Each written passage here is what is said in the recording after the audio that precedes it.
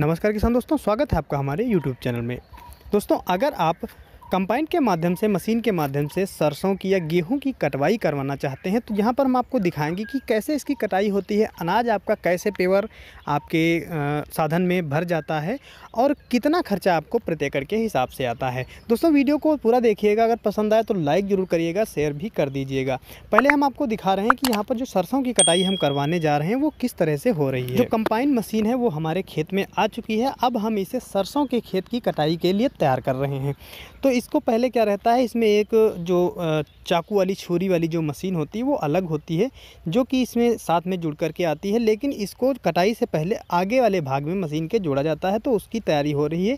इसको आगे वाले भाग में जोड़ देंगे, फिर इसकी आगे हम चलाई करवाएँगे, यानी जो खेत है उसमें चलाते हैं तो ऊपर से जो भाग है वो कट करके और इसमें जा करके इसका अनाज सेफ़ होकर के निकल आता है। कुछ इस तरह से आपको मशीन दिखाई दे रही होगी कि जो खेत में चल रही है, ये गोल गोल घूमती रहती है और ऊपर के जो शेष भाग होता है, वो कट जाता है। आपका जितना भी अनाज अगर गिरा भी गिरी भी फ़सल है वो भी फ़सल आपकी इसमें कवर किसान दोस्तों इस मशीन में आप सरसों धान और गेहूँ की इत्यादि की कटाई करवा सकते हैं। एक फिट नीचे से पौधे का जो शेष भाग होता है ऊपर का कट जाता है और नीचे का जो शेष भाग एक फिट का रह जाता है। तो देखिए इस तरह से उसका जो कचरा होता है जो अवशेष होता है वो भी यहाँ पर निकल जाता है। इसको क्या कराएँ? आप इसकी मल्चिंग करा सकते हैं खेत में रोटावेटर इत्यादि की सहायता से अच्छे से जुताई करवा सकते हैं जो खाद के रूप में आप इसका लाभ भी ले सकते हैं। बता दें कि अगर आप एक एकड़ सरसों या गेहूँ या धान की कटवाई करवाना चाहते हैं तो खर्चा आपका कितना बैठेगा? बारह से पंद्रह प्रति एकड़ के हिसाब से आपका खर्चा बैठेगा। आपके अनाज की वसाई और सफ़ाई करने की ज़रूरत नहीं पड़ेगी, वो आपके स्टोरेज यानी आपकी ट्रॉली में जा के ये निकाल देगा।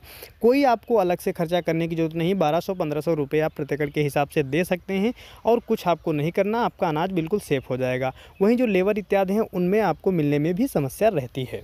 तो दोस्तों, इस आप कंपाइन मशीन की सहायता से अपने धान, गेहूँ, सरसों इत्यादि को आसानी से कटवा सकते हैं। कम से कम खर्चे में आपको अनाज की वसाई और सफ़ाई करवाने की ज़रूरत नहीं है। आपको लेबर के पास जाने की ज़रूरत नहीं है।